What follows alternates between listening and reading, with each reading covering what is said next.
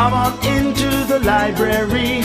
It's a place where I love to be. Look in a book, here's a story for you. Who makes stories when the day is through? Who makes stories when the day is through? Story makers, story makers, working through the night till the rising sun. Story makers, story makers, stories are fabulous, stories are fun. Milton Wordsworth. Shelley and Working through the night till the rising sun. Story makers, story makers, stories are fabulous, stories are fun. Come and be a story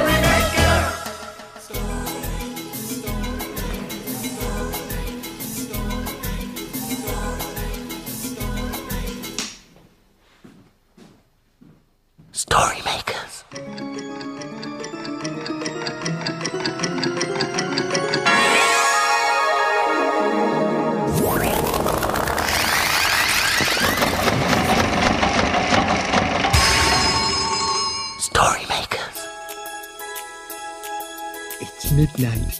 Hello. Has everybody gone? Welcome, one and all. Milton Wordsworth, storymaker and magical maestro, at your service. Milton! Milton, Milton! Yes. The children in the library today were talking about their best day ever. Yes, I, I love every day.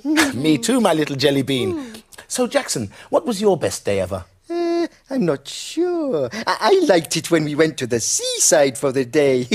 Building sandcastles was fun. Yes, and we flew a kite. And we stuffed ourselves with ice cream. Yum! That was a good day, wasn't it?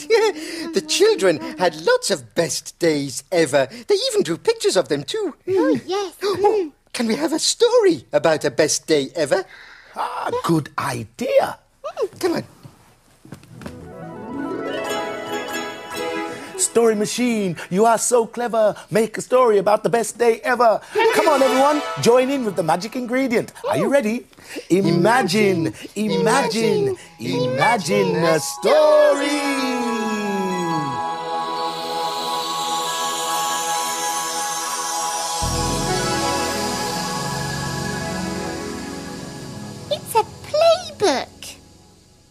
It's called Park Visit.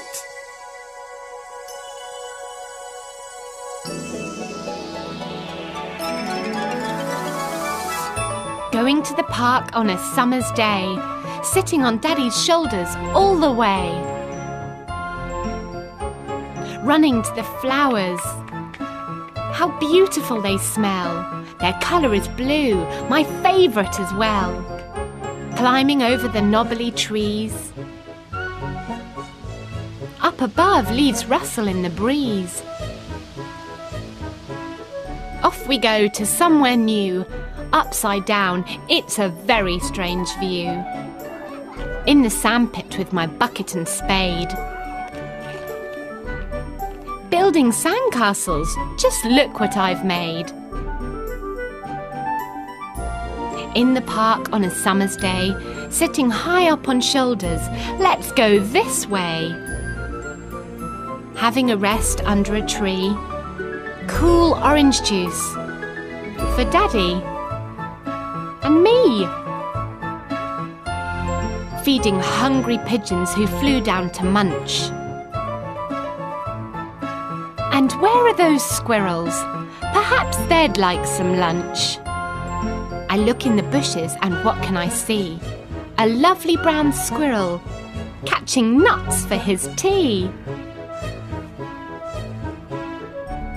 A leaf and a stick make a little boat. Drop it into the water. Do you think it will float? Is, is the one with the stick or is the The day is almost over, sun setting in the sky. Just time for a lolly before we say goodbye. I've been to the park on a summer's day. Do you ever spend the day this way?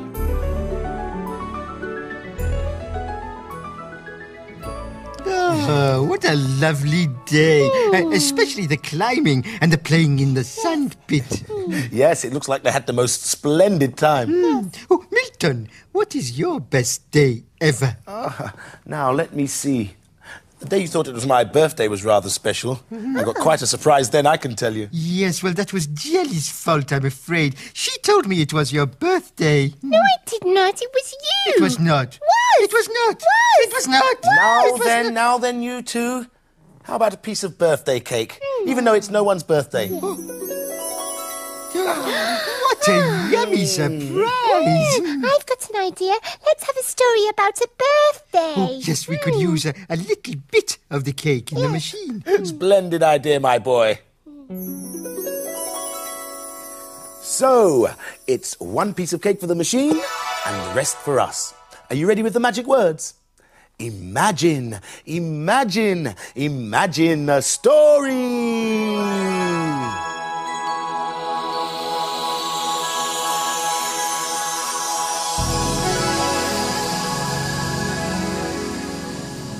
It's a Jack Sprat and Treacle cat story. And it's called Birthday Surprise. Jack Sprat and Treacle Cat lived in a bin. A bin that people drop rubbish in. While Treacle dreams, Jack Sprat schemes. What will Jack Sprat make today? Hey, what do you think of these classy decorations, eh? ah, there's nothing I like better than a celebration. Yeah, I'm a party rat at heart. Today's really special because it's Treacle's birthday. and I'm going to surprise him. Yeah, I can't wait. I don't know. I bet he thinks I've forgotten him. Oh, uh, cheesy niblets. I think I can hear him coming. I better hide these, I think.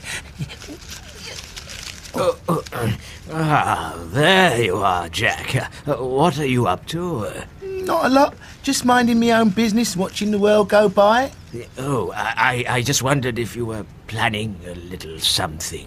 Um, No, no, mate, not me. Thought I'd have a day lazing around, you know, busy doing nothing. oh, I see. Uh, you haven't remembered anything special about today, then, Jack? Special? No, can't say I have, Treacle. Wait, watch out. I can hear someone coming. That was a close one. Poor old Treacle. I think he's going a bit soft in his old age. The big furball. Of course I haven't forgotten him. Here, see what I've been saving up for him? this. Sardines. Only his favourite. They're a bit whiffy, but I bet he'll love them. Now I better get a move on with me party plans. Oh, well, why should I mind? After all, it's only a birthday. What's a birthday when you're my age, anyway? I mean, a cat's got nine lives, and I'm already on number seven. The odd thing is, I always thought Jack was quite fond of me. Oh, well, I suppose I'd better stop feeling sorry for myself, give my whiskers a lick, and pull myself together. Oi, Treacle, me old mate. You'd better come hmm? up here a moment. All right. Oh, oh, oh, oh. Surprise, surprise! Wha- What's all this, Jack? Oh, you great big pussycat. You didn't think I'd forget your birthday, did ya? Here's a present for ya. Oh, lovely. Mm. Oh, Jack Sprat, you rascal. Mm, delicious sardines. You can have them all to yourself, mate. Oh, what a feast. Do you know, Jack, this is simply the most perfect mm, birthday ever. Oh, you are a big softy.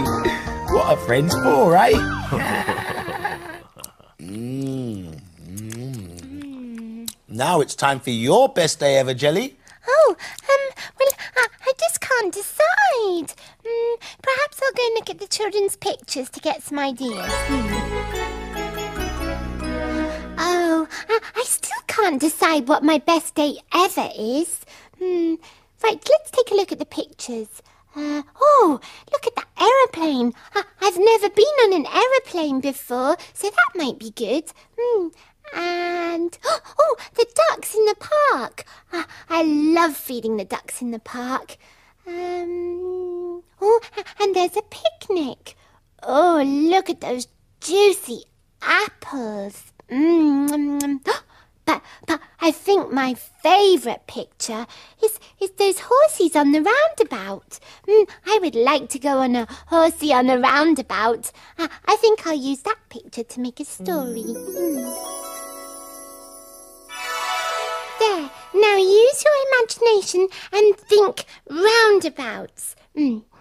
Imagine, imagine, imagine a story.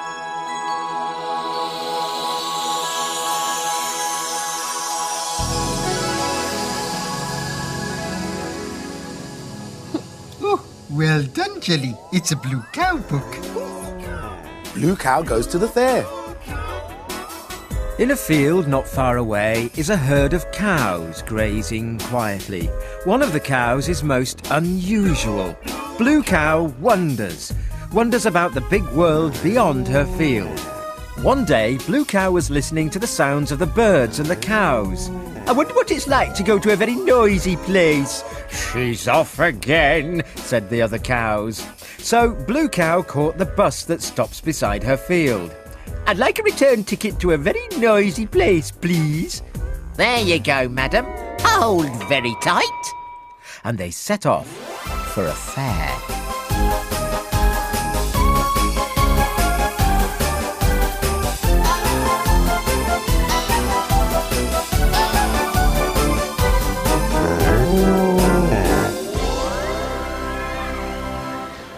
And then they arrived. People were shouting and laughing, going on rides and playing games. There were lots of brightly coloured lights everywhere. It was very, very noisy. Is this your first time at the fair? said a duck who was munching on some candy floss. Yes, said Blue Cow. Mine too. I'm Daphne. Shall we look around together? That would be nice, Let's go on the waltzes. cried Daphne. She pointed to a brightly painted ride. Okay. said Blue Cow, and they got into one of the cars. A man came and fastened them in. Here we go, he said. The music began, and they slowly started to go round. Faster and faster they went, round and round and round and round. Whee! Everything was a blur. Blue Cow was getting very dizzy. Moo! she said, holding on tightly. Poof! The candy floss flew apart.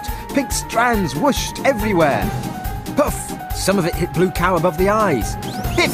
Some hit her chin. Puff! A big dollop landed on Daphne's head. Whee! You! The ride stopped and they got off. They did look funny. Blue Cow had a pink beard and eyebrows, and Daphne had a pink bouffant hairdo. Moo! Mmm, said Blue Cow, licking the candy floss from her chin. Mmm, this must be the tastiest beard in the world.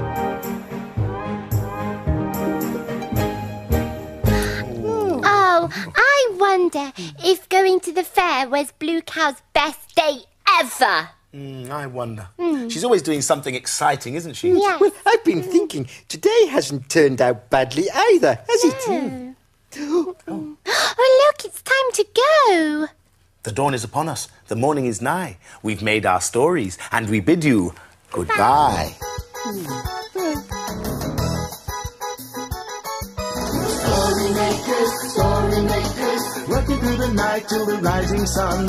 Story makers, story makers, stories are fabulous. Thanks for helping. Bye, story makers. Hmm. See you again soon.